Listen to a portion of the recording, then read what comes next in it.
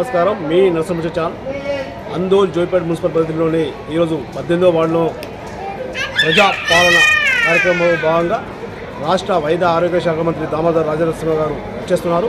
అది కూడా మనం పూర్తి ఇవ్వాల్సింది ఈ వార్డ్ కౌన్సిలర్ వచ్చేసి సురేంద్ర గౌడ్ గారు ఆధ్వర్యంలోని ఈ వార్డులో ప్రజలు ప్రజాపాలన కార్యక్రమంలో భాగంగా ఆరు గ్యారంటీలు ఏవైతే ఉన్నాయో ఎన్నికల ముందు ఇచ్చిన ఆరు గ్యారంటీ ఏవైతే ఉన్నాయో వాటిపై అవగాహన కల్పిస్తూ అప్లికేషన్ దరఖాస్తులు స్వీకారం కొనసాగుతున్నాయి. అది కూడా పూర్తిగా గ- గౌరవ మంత్రివర్యులు దామోదర్ రాజనరసింహ చేతుల మీదుగా ప్రారంభమవుతుంది కాబట్టి అది కూడా మనం పూర్తి ఇజ్వాల్ చూస్తాం కాబట్టి కొత్తగూడ జిల్లాలో కోరుతూ మీ ముచ్చే ఛానల్ మరియు అధికారులకు ప్రజాప్రతినిధులకు ప్రజలకు ప్రతి ఒక్కరికి కూడా ఇది కూడా నమస్కారం చేస్తున్నాం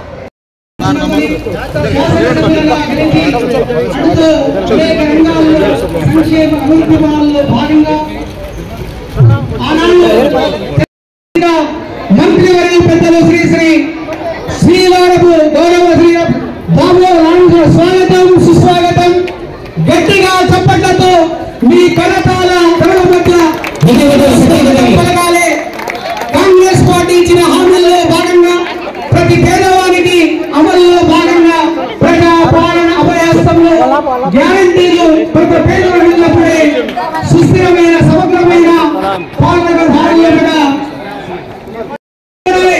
అధికారులందరూ కూడా తెలంగాణ కాంగ్రెస్ పార్టీ ఎన్నికల పాలన హామీలు ఇచ్చిన మాత్రం హామీలను ఆ పథకాలన్నీ కూడా నిజమైన పేదలకు అభివృద్ధి చెందాలన్న కార్యక్రమంలో ప్రజా పాలన కార్యక్రమంలో ఘనంగా చైర్మన్ గౌరవ కౌన్సిలర్ కూడా ఈ వార్డు కౌన్సిల్ పెద్దలు సురేంద్ర గౌడ్ గారు, జిల్లా గౌరవ సభ్యులు, కౌన్సిలర్ కూడా వేదిక మీద కూర్చోవాలని కోరుతున్నాను రంగారెడ్డి జిల్లా అడిషనల్ కౌన్సిలర్ పెద్దలు సురేంద్ర గౌడ్ సార్ కూడా వేదిక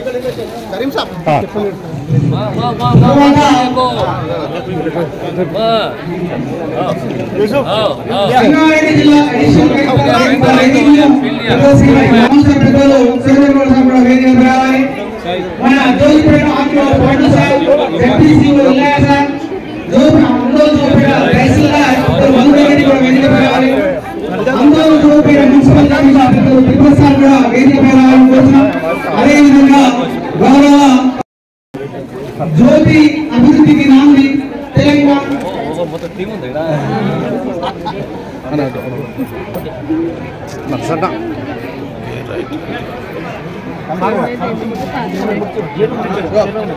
Saraswati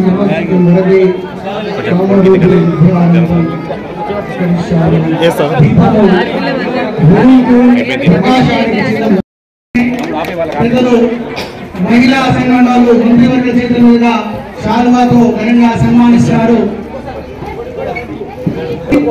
ఆ వెనుకలో ప్రభుత్వం ఏర్పడినాటి నుండి గ్యారంటీలో కూడా మహా అలనాడు ముప్పై రెండు శాతం ఉన్న ఈ బస్సుల్లో ఇరవై రెండు శాతం పెరగడం జరిగింది.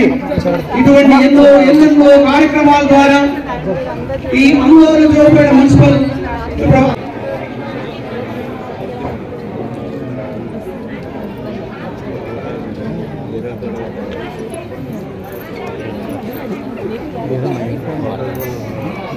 మహిళా పార్టీ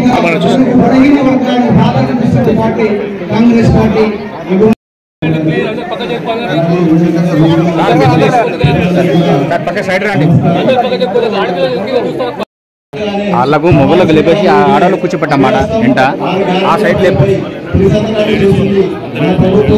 మన నలభై ఐదు గంటల్లోనే తెలంగాణ ఆడపిల్లలకు ఆర్టీసీ బస్సుల్లో ఉచిత ప్రయాణం. అర్హులైన వారందరికీ రాజ్యం ఆరోగ్యశ్రీ పది లక్షల వైద్య సహాయం గ్యారంటీలను అమలు చేసి చరిత్ర సృష్టించింది. అదే సంకల్పంతో మిగిలిన గ్యారంటీలకు కూడా నిర్వహించేందుకు ప్రజాపాలన కార్యక్రమానికి మన ప్రభుత్వం తెలియజేసేందుకు గర్విస్తున్నాము. చివరి వరుసలో ఉన్న పేదవారికి కూడా సంక్షేమ పథకాలు అందినప్పుడే ఈ రాష్ట్రం దేశం అభివృద్ధి చెందుతుంది. ప్రజాపాలన ఉద్దేశం నిస్సహాయులకు సాయం చేయడమే. స్వయంగా ప్రభుత్వమే ఇవాళ మీ ఊరికి మీ ఇంటికి వచ్చింది. మహాలక్ష్మి రైతు భరోసా గృహజ్యోతి ఇందిరమ్మ ఇండ్లు జీవిత పథకాల కోసం అర్హులైన ప్రతి ఒక్కరి నుంచి దరఖాస్తులను స్వీకరిస్తుంది. ఈ మహత్తర అవకాశాన్ని మీ అందరూ సద్వినియోగం చేసుకుంటారని ప్రభుత్వ ప్ర- ప్రజాప్రభుత్వం తలపెట్టిన సంక్షేమ యుగంలో భాగస్వాములు అవుతారని కోరుకుంటున్నాను కృతజ్ఞతతో మీ రేవంత్ రెడ్డి ముఖ్యమంత్రి తెలంగాణ రాష్ట్రం. థ్యాంక్ యూ ధన్యవాదాలు.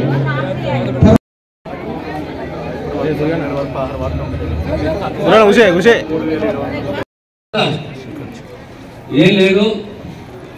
కాంగ్రెస్ ప్రభుత్వం వచ్చిన తర్వాత ఈ ప్రజాపాలన అనే ఒక కార్యక్రమాన్ని మొదలుపెట్టాను ఈ ప్రజాపాలన అనే కార్యక్రమంలో గతంలో సోనియమ్మ వాగ్దానాలు చేసిన ఆరు గ్యారంటీలు అంటూ గ్యారంటీ ఇంగ్లీష్లో పదవి వాగ్దానాలు అవి ఖచ్చితంగా నెరవేర్చాలనే ఉద్దేశంతో ఆ ఆరుట్లో మొట్టమొదటిది మహిళలకు ఉచిత ఆర్టీసీ బస్సులో ప్రయాణం. నువ్వు ఆర్టీసీ బస్సులో పోతున్నావా లేదా? పోతలేదు. నువ్వు గట్టిగా చెప్పచ్చు కదా? नहीं करते हो बाकी लोग सही है उम्र का तकादा है वो उसके बारे में कौन क्या कर सकते मालिक है वो सही बात है नहीं बाकी लोग जा रहे नहीं जा रहे बस में ఏమా మీ పోతున్నా లేదా ఆ, రెండవది ఆరోగ్యశ్రీ ఆరోగ్యశ్రీ పథకం అనేది పేదల ఆరోగ్యానికి సంబంధించింది మనం ఏదైనా ఆసుపత్రికి పోతాం అనుకో ప్రైవేట్ దవాఖానకు పోతే ఉంటే యాభై వేలు లక్ష రూపాయలు అప్పులపాలు అవుతుంది అవునా కదా? సో ఇప్పుడు ఆరోగ్యశ్రీ ఐదు లక్షల వరకు పరిమితి ఉన్నది. ఈ పరిమితిని పది లక్షల వరకు పెంచాలి. ఏ గరీబోడు ఏ దవాఖాన పోయినా పది లక్షల వరకు సర్కారు ఖర్చు పెట్టాలి అని చెప్పి ఉద్దేశంతో రాజీవ్ ఆరోగ్యశ్రీ అనే పథకాన్ని తీసుకొచ్చింది కాంగ్రెస్ ప్రభుత్వం రేవంత్ రెడ్డి గారి నాయకత్వంలో వారు మన ముఖ్యమంత్రి. ఇక మిగిలిన కాదు కదా? ఆ రాజును ఏం చేద్దాం? ఎట్లా చేద్దాం? దానికి సంబంధించి సర్కార్ అనేది ప్రజల దగ్గర రావాలి. సర్కార్ అంటే ఎవరు? ప్రభుత్వం. ప్రభుత్వం అనేది మన బస్తీకి రావాలి. మన వాడకు రావాలి. మన గ్రామానికి రావాలి. మన సాధక బాధలేంటి ఏంటి? మన కోరికలు ఏంటి? మన కష్టాలు ఏంటి? తెలుసుకోవాలి. తెలుసుకొని మనకు అవకాశం ఇవ్వాలి దరఖాస్తు ఇవ్వనికి ఆ దరఖాస్తే ఈ దరఖాస్తు. అందులో మీకు అంశాలు ముఖ్యంగా ఇళ్ళ జాగలే కానీ ఇల్లే కానీ చేయుత పెన్షన్లే కానీ మహాలక్ష్మి కానీ గృహజ్యోతి కానీ రేషన్ ఇవన్నీ దరఖాస్తులు ఈ నింపి మీరు ఎనిమిది కౌంటర్ లేదా? ఐదు కౌంటర్లు ఉన్నాయి అలా ప్రత్యేకంగా మహిళలకు సపరేట్ కౌంటర్. దివ్యాంగులకు సపరేట్ కౌంటర్. ఈ కౌంటర్లో మీరు ఈ దరఖాస్తు ఇచ్చి రసీదు తీసుకోవాలి. రసీదు తీసుకున్న తర్వాత ఒక్కొక్క పని ఒక్కొక్క అర్హత ఇవ్వదా అర్హత లేదా అని సర్కారు పరిశీలించి మీకు ఇల్లే కానీ ఇళ్ళ జాగలే కానీ రేషన్ కార్డు కానీ గ్యాస్ సిలిండరే కానీ మహాలక్ష్మి పథకమే కానీ గృహజ్యోతి కానీ గృహజ్యోతి అంటే ఏంటి మనకి ఇంటికి వచ్చే కరెంటు రెండు వందల యూనిట్ల వరకు ఉచితంగా ఉండాలి.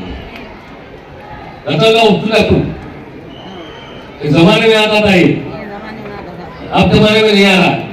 మళ్ళీ అది తీసుకురావాలి ఇంద్రమ్మ పేరు మీద ఉద్దేశంతో ఆ గృహజ్యోతి కానీ మహాలక్ష్మి కానీ ఇళ్ళ కానీ ఇళ్ళ ఆనాడు ఇంద్రమ్మ ఇంగ్లీష్లో.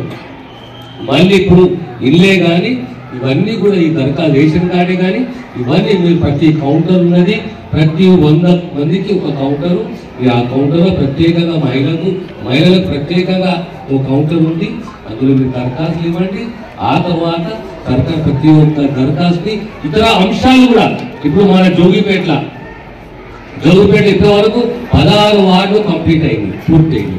పదహారు వార్డులకు సంబంధించి సుమారు మూడు వేల ఎనిమిది వందల దరఖాస్తులు వచ్చినాయి సుమారు మూడు వేల ఎనిమిది వందల దరఖాస్తులు వచ్చినాయి ఇతర అంశాలకు సంబంధించి ఇంకా నాలుగు వందల యాభై దరఖాస్తులు వచ్చినాయి అంటే దగ్గర దగ్గర నాలుగు వేల పైచిల్కు దరఖాస్తు కేవలం జోగిపేటలోనే అందరూ జోగిపేటలోనే మనకు దరఖాస్తులు వచ్చినాయి ఇంకా నాలుగు వార్డులు ఉన్నాయి పదిహేడు పద్దెనిమిది పంతొమ్మిది ఇరవై వార్డులు రేపు పూర్తి రేపు ఈ వార్డులన్నీ పూర్తి అయిన తర్వాత ఈ దరఖాస్తుని సర్కారు తీసుకొని ఇవన్నీ కూడా పరిశీలన చేసి ఎవరికైతే అర్హత ఉన్నదో వారికి ఖచ్చితంగా న్యాయం చేయాలని ఒక ఉద్దేశము. కాంగ్రెస్ పార్టీకి కాంగ్రెస్ ముఖ్యమంత్రికి తెలంగాణ ముఖ్యమంత్రికి రేవంత్ రెడ్డి గారికి ఉన్నది. ఎందుకంటే గతంలో కాంగ్రెస్ పార్టీ ఆరు గ్యారంటీలకు సంబంధించి మాటిచ్చింది కనుక ఆ దిశగా కాంగ్రెస్ పార్టీ ప్రయత్నం చేస్తున్నది. ఏమా? ఈ దరఖాస్తు రెడీ ఉన్నాయా మీరు ఇస్తారని ఇవ్వాలి రసీదు అంతే కదా ఆపాయి రెడీ. ఈ రోజు పద్దెనిమిదో వార్డు పంతొమ్మిదో వార్డుకు పద్దెనిమిది పదిహేడు పద్దెనిమిదో వార్డుకు ఇచ్చేసినటువంటి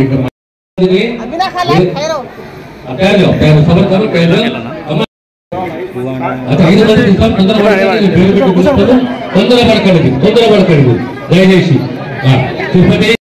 ఆ, తిరుపతి వారడి పాపమ్మ గారు ఫాతిమా బేగం జహరా బేగం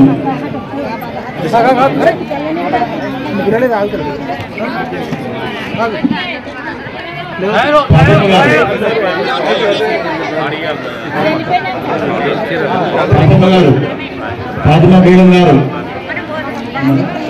జహీరా బేగం గారు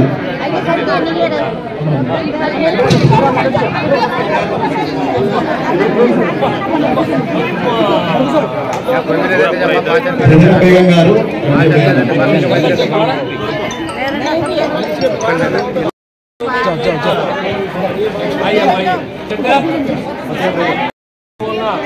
जो बुलाया मैं पर